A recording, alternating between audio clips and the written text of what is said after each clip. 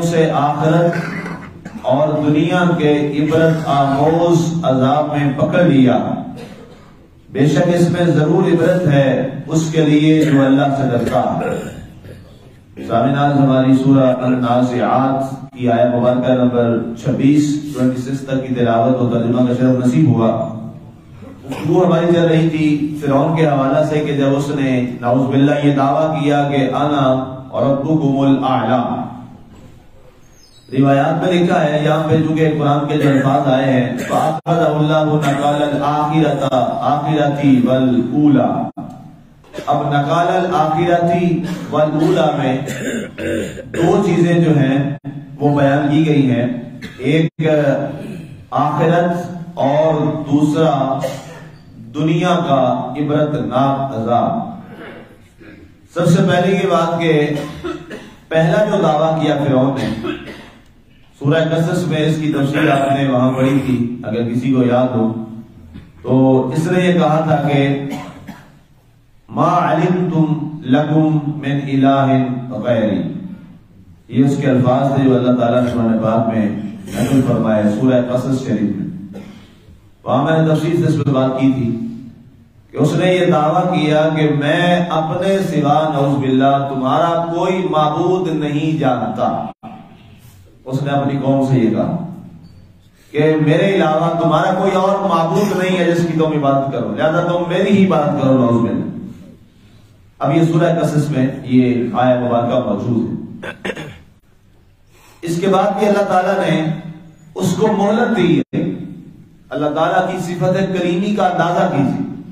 जरा सोचिए कि कितना करीम है अल्लाह ताला की जात और कितना वो बंदे को मौका था फरमाता कितना वो रियायत देता है बंदे को कि शायद वो वापस आ जाए गुमराही के रास्ते से हक की तरफ़। अब इतना बड़ा उसने जुमला बोला कि माँ अलिम तुम माँ अलिम तु लकुम मिन इलाहिन गैरी, के मैं तुम्हारे लिए अपने सिवा कोई और जो है माबूद नौज बिल्ला नहीं जानता, नहीं मानता।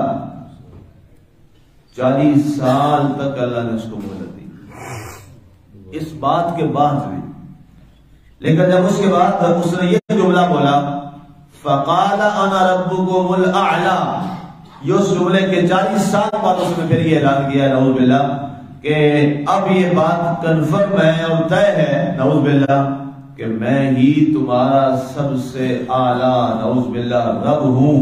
तो फिर अल्लाह ताला ने अब अल्लाह ने फिर उसको पकड़ लिया।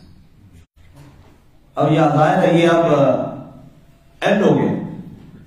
इतना बड़ा शिरक, इस कदर ये शिरकिया बड़ा जुमला और फिर इस लम्हा में अल्लाह ताला ने अपने प्यारे नबी, अपने प्यारे करीम मूसा सलाम को हुक्म दिया कि अब इसके लिए तमाम जो औकात हैं, अब वो खत्म हो चुके सब कुछ आने के बाद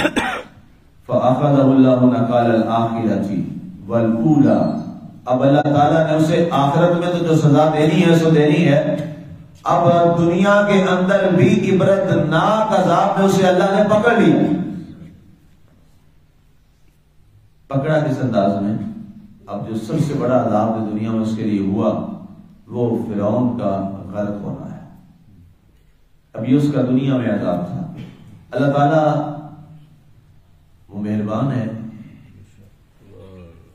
और वो ऐसी जात है, वो जहाँ उसका जमाल है, वहाँ वो चाहे तो अपना जलाल भी ज़ाहिर कर दे। उसकी मर्ज़ी है।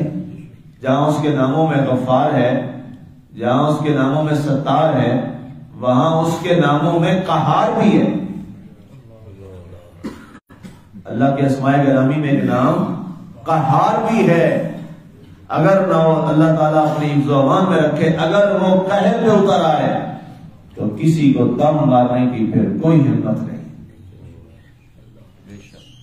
ये फिरौन भी था जो इतने दावे करने वाला था और सब कुछ समझा था कि मुझे कौन है जो हिलाल दे और कौन है जो मेरी रियासत के सामने और मेरी हुकूमत के सामने कोई ठहर सके, लेकिन रब जलाल ने क्या खूबसूरत अंदाज में फिर उसको, उसका ऐसा अपने हबीब, अपने करीब के ज़रिए जो अंजाम किया है, वो दुनिया आज भी याद रखती क्या जवाब दिया फिर बातिल को? ये जवाब दुनिया हमेशा याद रखे। अब ये सूरत ताहा में, अगर आपको किसी को याद हो, वहाँ ये तस्वीर हमने पढ़ी थी सूरत ताहा में, क्योंकि वो पूरा किस्सा वहाँ पे ये चूँकि मूसा फिरौन वाला किस्सा कुरान में बहुत बार आया बहुत दफ़ा आया है। तो सूरत ताहा में हमने ये पढ़ा था कल एक जगह एक दरस कुरान था, वहाँ मैंने ये पूरा हवाला वहाँ पे ये मैंने पेश किया वहाँ पे। तो अल्लाह ताला ने जब बकायदा फरमाता है कि हमने, ए मूसा तेरी माँ से ये फरमाया कि तू एक लकड़ी का बॉक्स तैयार कर और उसने तैयार किया और उसके अंदर रख दिया और फिर दरिया की मौजों के हवाले कर दिया। हर तरफ़ से उसको बंद करके और फिर उस दरियाए नील से एक नहर जो थी, जो फिरौन के घर में जाती थी, उसकी तरफ़ अल्लाह ने मोड़ दिया। अब ये सारी चीज़ें देखने वाली है। अल्लाह ये हमें सारी बातें, पूरा ये वाक्य हमें सुनाया क्यों जा रहा है? इस वाक्य में भी इबरत है। ये बातें सुनाने में भी इबरत है हमारे लिए। फिर वहाँ गया और जब निकाला गया तो आपका जितना खूबसूरत और नूर वाला चेहरा था ज़ाहिर अल्लाह के नबी का चेहरा था। अल्लाह इतना नूरानी चेहरा नूर वाला ज़ाहिर है वो अल्लाह का रसूल अल्लाह का नबी है। तो वही शख्स जिसने ऐलान कर रखा था कि यहाँ मिस्र में जो लड़का पैदा होगा उसको कत्ल कर दिया जाए, और कत्ल कर दिया जाता था। आज जो ऐलान करने वाला था लड़कों को कत्ल करने का, आज वही नबी के चेहरे को देखते ही ऐसा फरेफ्ता और वारफ्तगी में चला गया कि कहने लगा है आसिया, इसको हम अपना बेटा न बना। ये क्या है? ये है रब की कुदरत कामिला। पहले खुद ऐलान किया हुआ है कि कोई लड़का ना पैदा हो जाए सामरियों जादूगरों ने कहा है, तेरी हुकूमत का तख्ता उल्टेगा। अब अल्लाह ताला ने वही लड़का, वही अभी पैदा हुआ तो पैदाइश के साथ ही उसके दरबार में पहुँचाया। अब जरा गौर कीजिए, अल्लाह का निज़ाम देखिए कि कहाँ पैदा हो रहे हैं मूसलाम और किसके ज़रिए भिजवाया फिर के पास। दरिया की बेरहम मौजों के ज़रिए। कोई लाने वाला बंदा नहीं है। अब इससे अंदाज़ा कीजिए रब क्या है? जो वो चाहे वो करता। है यफ कुरान में है, बड़ा वाजे यफ हो मा जो उसका इरादा होता है, वो उसी तरह करता। जैसे वो चाहता है, वो कर लेता। कभी ऐसा भी हुआ है कि दरिया जो है, वो डबोए ना और बड़ी हिफाजत के साथ किसी तक किसी बच्चे को पहुँचा दे। आज कोई ज़रूरत करे ना अपने बेटे को दरिया में फेंक नहीं खुद जलांग लगा लूँगा अपने जीते जी अपने बेटे को तो बेरहम मौजों के हवाले नहीं कर सकते। बाप और माँ खुद छलांग लगा लेंगे। बेटे को डाल सकते दरिया में? नहीं डाल सकते। लेकिन कुर्बान जाऊँ मूसा सलाम पे भी और कुर्बान जाऊँ फिर मूसा सलाम की माँ पर भी। ये देखिए। ये उस माँ पे भी सलाम है उस अजीम माँ को भी। जिसने हज़रत मूसा सलाम जैसा रसूल मुतवल्लत फरमाया। सुबह क्या कमाल है।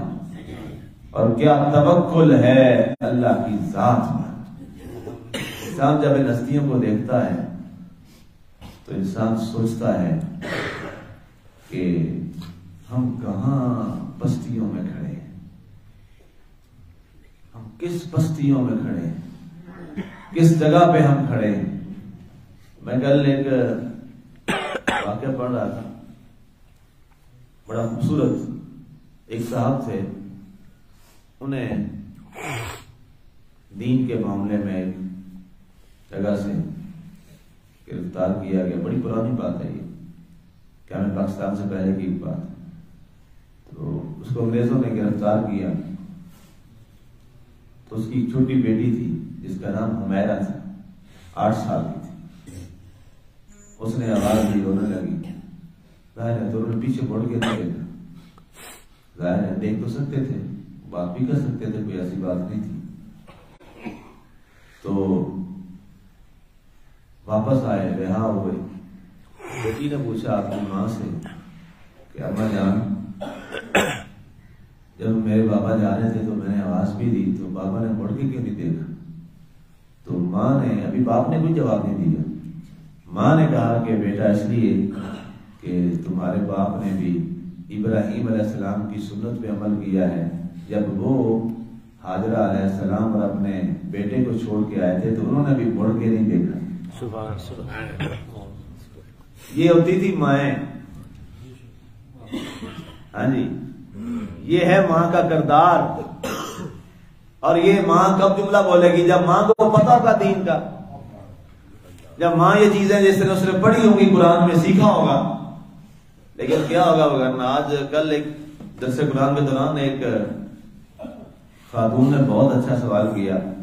जी मुफ्ती साहब, बड़े अफसोस की बात है, हम क्या करें कि आज हमारी जितनी जदीद जनरेशन है, उनके तो जितने हीरोज हैं, वो सारे वो हैं जो गाना गाने वाले आज हमारे बच्चों से पूछा ना, आपका हीरो कौन है? वो कोई किसी कंजर का नाम लेता है, वो किसी कंजर का नाम लेता है। ऐसे ही है ना? और क्या है जी हमारे मीडिया ने क्या उनको कहा हुआ स्टार्स। ये हमारे स्टार्स हैं। जिस कौम के गाने वाले स्टार हो, फिर उस कौम का हाल यही होता है जो हो गया हुआ यही होता है। बर्बादी होती है। मुसलमान बच्चे या बच्ची का हीरो सिर्फ़ एक ही है, जिसका नाम है हज़रत मोहम्मद और भाई, हमारा तो एक ही हीरो है। उस हीरो से बड़ा है हीरो कायनात में कोई? खुदारा, अपनी औलादों की तरबियत कीजिए, अपनी बेटियों की, बेटों की। जो घर में वो देखते हैं, वो वही करते हैं। सबसे बड़ा, हम हम बाद में मस्जिद का इमाम खतीब बहुत बाद में आता है। सबसे पहला अपनी औलाद का इमाम, उसका माँ और बाप होता है। ये याद रखें। हम तो तब इमाम बनेंगे ना जब कोई मस्जिद में आएगा। अभी तो आवाज़ है, औलाद बचपन है, और जो बच्चा बचपन में होता है, नाबालिग होता है, उसकी तख्ती बड़ी खूबसूरत होती है। उस वक्त उसकी तख्ती पर जो लिख दोगे, वो हमेशा के लिए कायम हो जाएगा। इसलिए वालदेन की बड़ी ज़िम्मेदारी है। मैं क्यों कहता हूँ, आते हुए जगा के आया करो अपने बच्चों को। सुनते घर पड़ा करो। अपने सामने कुछ न कुछ वहाँ नवाफिल कर लिया करो। अपनी औलाद के सामने, अपने बच्चों के सामने, अपनी बीवी से कहें, अपनी बेटियों से कहें, उनके सामने वो बड़े छोटे बच्चों के सामने। जब वो ऐसा करेंगे इनशाला मेरा यकीन है, हम उस रास्ते पे चले, अल्लाह हमारी रहनुमाई फरमाता है। अल्लाह हमारी रहनुमाई फरमाता है। अभी मैं सुबह अल्लाह का ये फजल है। अब कोशिश कोशिश अब सबने करनी होती है। अल्लाह ताला ज़रूर उसका अजर देता है। अभी अजान नहीं हुई थी। आई जब सलाद पढ़ रहे थे मैं पहले उठ जाता तो बेटी मेरी अपनी माँ को आवाज़ लगा रही थी। मामा उठ जाए। नमाज़ का टाइम हो तो गुड़िया चार साल की है। बेटी मेरे पास आती है।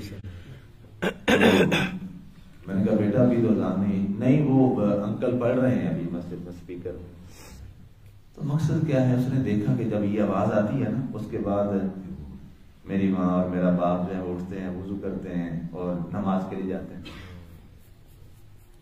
तो अगर ये ना होता राम जैसी होती हमारे घरों में और हम बस ठीक है जी। उसको क्या पता? उनका ठीक है आवाज़ आती है बस उसके बाद ये बच्चे की बड़ी साफ़ है। इसको आप फ़ौरन इस पे बच्चों को तरबियत दें, उसको नमाज़ के लिए लगाएँ। वो कुछ भी ना करे, उसके लिए जाए नमाज़ एक मुख्त कर दें। बच्चों को बड़ा शौक होता है, ये मेरी अपनी चीज़ है। छोटा बच्चा, उसको ये आपकी जाय नमाज़। वो बिछाए, उस पर वो खेले, कुछ करे, उसको एक दफ़ा लाए तो सही उस पर आहिस्ता आहिस्ता आहिस्ता ये तरबियत किसने सिखाई? सीरत रसूल अगर देखें तो जनाब वसल्लम अपनी साहबजादियों के साथ यही तरीका इस्तेमाल क्या ख्याल है? जो साहबजादी सैयदा कायनात, सैयदा तैयबा ताहिरा फातिमा सलामुल्लाह अलैहा, जो सारी सारी रात अल्लाह की इबादत करती थी, क्या ख्याल है? खुद भाई अपने बाप को देखा ही ऐसे किसी ने पूछा ना जी कि क्या वजह है? फरमाया कि मैं जब से देखा है मैंने अपने बाबा को सारी रात मुसल्ले पे ही देखा। तो फिर वो साहबजादी क्या करती है? फिर उसका दर्जा क्या है और फिर उसका जौके इबादत क्या है? रात ईशा के बाद बैठी है मुसल्ले पर। नवाफिल पढ़ रही हैं। सारी रात गुजर गई फजर की अजान आ गई। तो सजदे में पता क्या अल्लाह से शिकवा किया या अल्लाह इतनी छोटी रात बनाई है। मेरा तो सजदे अभी पूरे नहीं अल्लाह अकबर अल्लाह हम कहते हैं रात बड़ी छोटी है जी क्या करें? सुबह उठा नहीं जाता। यही करते हैं ना जी हम बातें। क्या करें जी वो मुफ्ती साहब सुबह उठा नहीं जाता। जिसको भी कहना हो यार फजर पे आ जाएगा यार नमाज़ भी पढ़ेगा कुरान भी सीख लो। अच्छा मौका है ज़िंदगी में नहीं मौका मिला तो आ जाओ पढ़ लो। कौन अजीब ना कोई पढ़ाता है, ना कोई पढ़ता है, सीधी बात है। ना किसी के पास ये टाइम है। इस उम्र में थोड़ी तफसीर पढ़ते हैं लोग, कितने के पढ़ते हैं? कोई नहीं पढ़ते। हम ऐसी माशरे में रहता हूँ। तो भाई, मौका मिला है, अल्लाह ताला ने मौका बनाया है। तो पढ़ लो। वो क्या करें? सुबह आँख ही नहीं खुलती। रात ही बड़ी छोटी होती है। हमारी रातें छोटी हैं, लेकिन उस रात को देखिए। रात क्या कहते हैं? या अल्लाह इतनी छोटी रात मेरे सजदे भी पूरे नहीं हो। अल्लाह ये हम पे भी ज़िम्मेदारी है। अगली रिवायत है ना कि मैंने तमीज से ये बांधी इन नफी इबरत ये इबरत है उन लोगों के लिए जो अल्लाह को डरते हैं अल्लाह हमें सिखाना चाहता है। वरना फिर और मूसा किससे से हमें क्या लगे? क्यों जी? हमारे पास तो सबसे बड़े किस्से है ना जी उसमें मामला है। ये किस्से हमारे लिए हैं। हमें बताने के लिए, हमें समझाने के लिए।